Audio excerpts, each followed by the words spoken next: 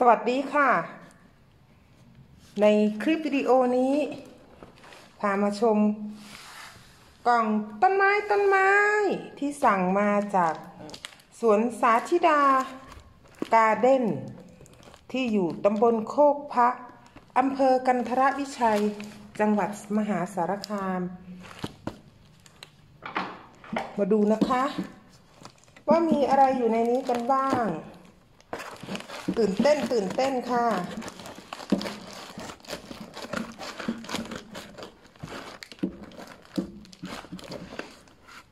สาธิดาการเด้นนะคะ ว้าว ก็จะโยกเยกนิดนึงนะคะ ขอโทษทีค่ะ จริงๆว่าจะแกะให้ดูด้านนอก แต่ลมด้านนอกแรงแรงเกินนะคะ ว้าว เริ่มตื่นเต้นแล้วสิ ชักจะตื่นเต้นแล้วแบบนี้จริงๆ ว่าในนี้มีอะไรนะคะ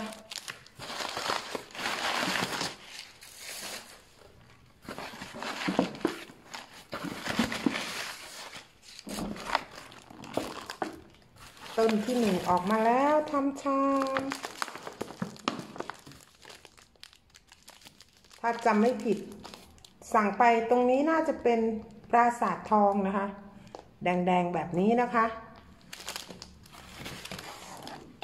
อีกต้นหนึ่ง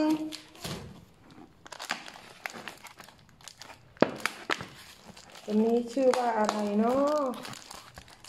เดี๋ยวค่อยมาดูกันนะคะ น้องเขาคงแปะชื่อมา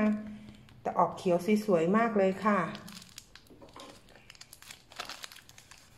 ลุ้นต้นนี้ก่อนนะคะ เนี่ยค่ะ รอดูข้างในนะคะว่าคืออะไร เนี่ยเขาแพ็คมาแบบ ไม่ให้ดินหลุดออกจากกระถางเลยนะคะ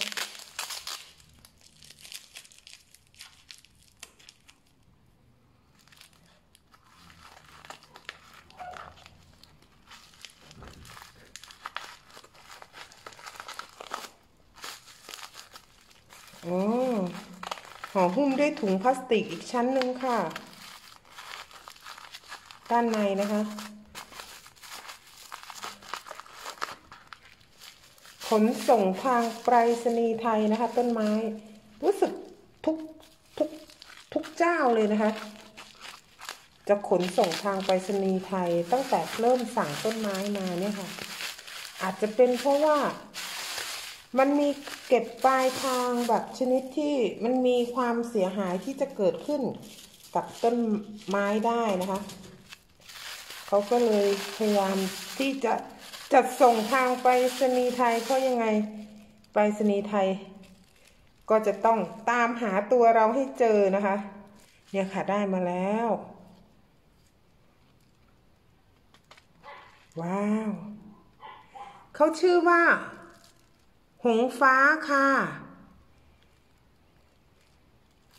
จำได้แล้ว หงฟ้า มาต่อกันต้นที่สองนะคะจำได้คร่าวๆว่าสั่งไปก็คือ ปราสาททอง หรือวังทองเนาะวังทองหรือเปล่าไม่ใช่ไม่ไม่ใช่วังทองวังทองนี่อีกเจ้าหนึ่งได้มาแล้ว เดี๋ยวดูนะคะ เกือบโดนลูกเขาแน่เขามีลูกมาด้วย เนี่ยค่ะ สวยมากเลยอะ คุ้ม ได้มาแบบทรงกอเลยนะคะ เนี่ยเท่าที่เท่าที่ดูคร่าวๆเนี่ย คุ้มเลยนะคะ ว้าว ตื่นเต้นค่ะ กลัวไปโดนกิ่งเขากลัวไปโดนรากเขานะคะ ลัวเขาชำรุดเสียหายกลัวโดนก้านเขาหักก็กลัวโดนใบเขาฉีกขาดอะไรประมาณนั้นนะคะ ก็ต้องค่อยๆแกะนะคะว้าวลุ้นสุดๆเลยต้นนี้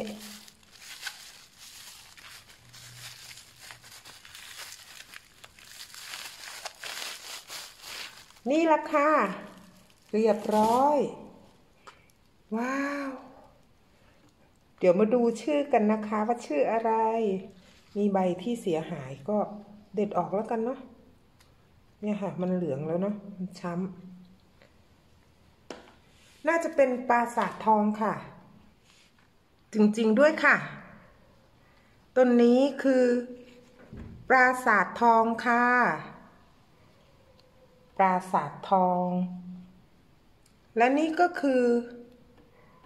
หงฟ้า เดี๋ยวต้องเอาเครื่องดื่มชูกำลังหนึ่งฝา แช่เขาในน้ำไว้สักหนึ่งคืนให้เขาสดชื่นค่ะ นี่แหละค่ะ หงฟ้า แล้วก็ปราสาททองค่ะ เยี่ยมมากค่ะ ขอบคุณทุกคนทุกท่านนะคะ ที่เข้ามารับชมคลิปวิดีโอนี้ หากผิดพลาดประการใดต้องขออภัยมาณที่นี้ ขอขอบพระคุณค่ะ